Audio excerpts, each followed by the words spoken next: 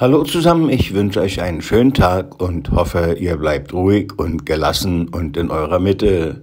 Die Briten wollen die Russen ganz aus der Ukraine vertreiben. Die britische Außenministerin hat das betont, wie sie das im Einzelnen anstellen möchte, ohne vielleicht selbst äh, mit der gesamten britischen Armee in den Krieg da hineingezogen zu werden. Das ließ sie offen.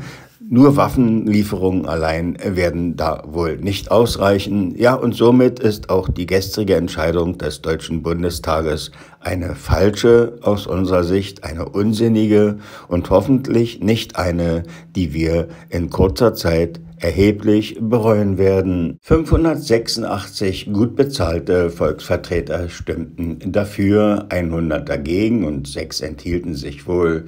Ja, äh, das könnte bedeuten, dass wir im nächsten Winter vielleicht dann doch mit kalten Füßen dasitzen werden. Unseren Nachbarn frieren werden wir nicht sehen, denn es wird auch recht dunkel werden, wenn das Gas und die Kohle und das Öl aus Russland dann abgedreht werden.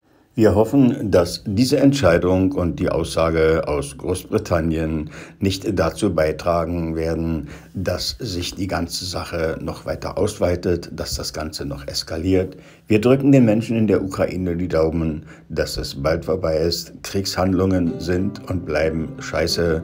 Und wir hier werden niemals rufen, ja, wenn es heißt, wollt ihr einen totalen Krieg. In diesem Sinne, Leute, weiterhin ruhig bleiben, gelassen bleiben, aber standhaft und eure Meinung sagen. Geht hinaus und redet mit den Menschen. Dies, dies ist jetzt vielleicht wichtiger denn je. In diesem Sinne, Leute, wir glauben, dass sich doch alles zum Guten wenden wird. Bis zum nächsten Mal. Tschüss und ciao.